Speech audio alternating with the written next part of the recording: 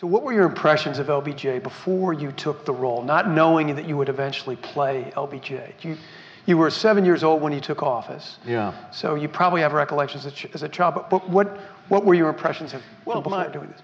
You know, it's it's noted, but perhaps many people don't know this part of it. But um, Lyndon Johnson had a, had a public persona um, when he spoke to the press, and he that he put on. He felt it was more presidential if he had a, a more serious tone to it. Um, but he really wasn't that way at all. He was a, a storyteller and a, a, jokester and, and a and uh, he, he was fun to be with. And then he could turn it and be very serious and very intent and in your face and in your personal space. Um, I didn't know any of that when I was when I was a boy and the and the assassination happened. Uh, it had an impact on me, a, a tremendous impact on me.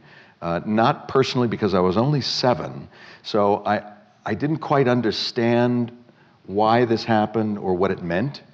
Um, but I could see it reflected in my parents and all of the neighbors who huddled together, as many people did, and embraced each other and wept and, and consoled each other. And so I knew something was very important here, and I needed to pay attention. And so the president then was Lyndon Johnson. And listening to him and watching him, um, I always thought my impression of him was that he was a very soft spoken, laconic, measured man. And that's what he wanted me to think and feel. But so it was a, a, a big surprise to learn little tidbits of it as I grew up.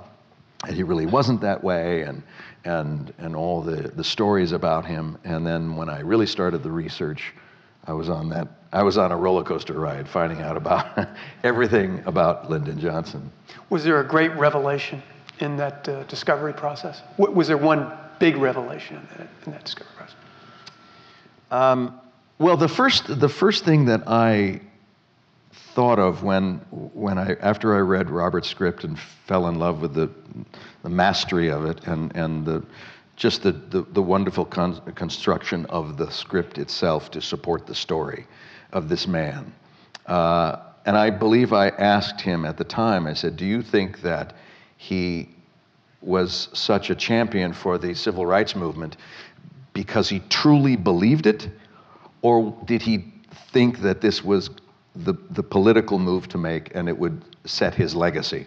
And, um, and we discussed that. And, and, and when I found out uh, more, you know, when I started my, my research, found out that he was in, in Cotulla, um, Texas, uh, teaching at a very, very poor school, and these kids who literally dirt poor, um, migrant farm worker kids, and didn't speak the English, and um, were made the terrible mistake of being born poor, and the treatment that they received from the white people in the in the town, and it, it resonated with Lyndon so deeply, the the injustice of that, that because he knew them. He knew these kids, and they were eager to learn, and they obeyed, and they wanted to be taught, and and to have them being derided and, and ridiculed and demeaned by people who didn't know them, it had a tremendous impact.